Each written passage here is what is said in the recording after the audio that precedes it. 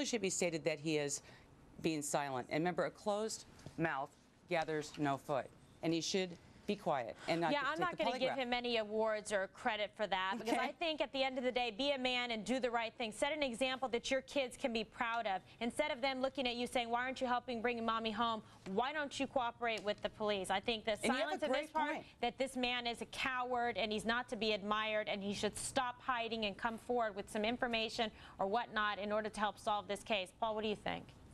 Well, I think as a prosecutor, one of the things that I'm really concerned about is those children. And they're still in the home and seeing all of this going on. Right. And they're seeing someone that is either interfering with the investigation or certainly not helping with the investigation and may even be the target of an investigation. So I'm hoping that Child Protective Services is watching for the sake of those kids because they have no other voice right now to stand up for them and their well-being.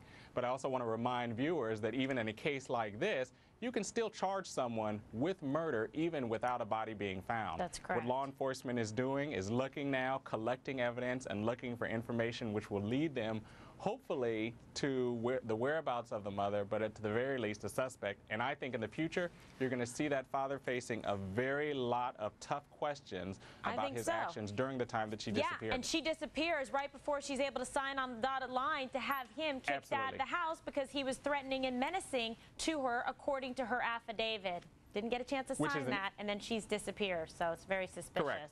All right, Correct. Paul, Ann, thank you so much. And if you have any information on the whereabouts of Lisa Stebic, please call the Plainfield Police Department at the number on your screen. And coming up, which Tinseltown troublemakers are making headlines this week? Well, we take a look at this week's Hollywood Hot Sheet.